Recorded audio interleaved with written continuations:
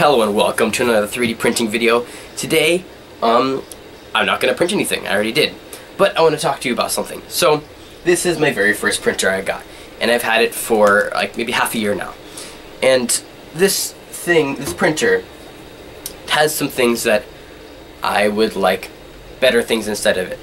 So this this is kind of like the gateway printer. And so I had to get another printer. And the printer that I ended up buying is the Flying Bear P905. And the reason I got it is there, there's three reasons. One of them is dual extrusion. This one just has one nozzle and one extruder, so it can only do one color at a time. But you could do the pulling out the filament and putting in the other next filament and do layers. But I wanted to be able to have like the colors intertwined in each other because that was just really cool. So that's one reason I got the P9 uh, P905 with the upgrade of the two nozzles and the two, two extruders. The second thing, I wanted to be able to do time lapse. With this printer, it's not super easy because the bed's moving back and forth the whole entire time, and a time lapse of that is really chaotic and harder to, to see what's going on. So that was the second reason. And the third reason was it's got a lot bigger of a build plate so I can build bigger things. Because this is a very small um, 120 millimeters um, on all the sides, all the axes. Axes. Um, so I bought the printer about three weeks ago and I've spent two and a half weeks building it. It's taken a lot of time and there's been lot, so many things I've run into that I've had to fix and it's still not even ready to do dual extrusion. I can't figure out a certain problem. But I'm finally going to bring it out here to my 3D printing area because I've been building in the house. So in order to do that, I needed to build little feet for it because this desk is wooden and the printer is heavy and if I ever move it, it's going to scrape it and I don't like that. So I designed this 3D print. So what it is, is there's two parts. There's some flexible filament, which I should have done less infill because it's not as flexible as I wanted it, and some, this is uh, PETG filament. And so what I did is, you can see, there's a little elbow area where the leg, or the foot goes into, and then, with this like donut shaped thing, they fit into each other. So it's like several layers so that it can sit down on my wooden desk and um, not scrape it up much. And hopefully, I was hoping that the uh, flexible filament would absorb some of the, the vibrations, but it seems like it's too hard, not as flexible as I wanted it to be. So it won't do that as much. So I'm finally going to move my printer out here. Let's do this. Okay, I actually need to take this last part off my print bed.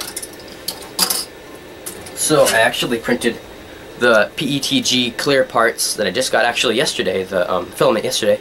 I printed on my Flying Bear printer and then the flexible parts. Because I didn't know if my printer would do it yet, I didn't want to try it. I printed on my Monoprice. So, got it off. And that completes the last corner. So I brought my printer out. It's right over there on the floor.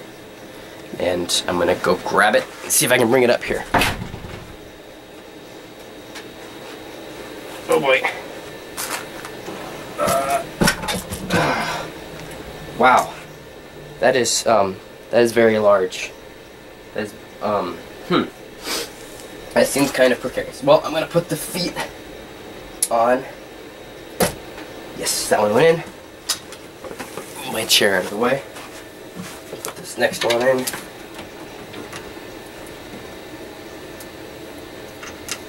Uh oh. Oh, it's on its cord. Oh boy. This one's in. Not anymore. And it's on something again. Wait a second. Okay. Going in for the back legs. I still support material in there. Whoops. Okay. Let's do this. It's in.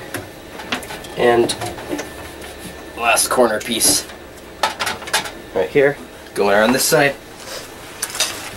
And over here. Whoops.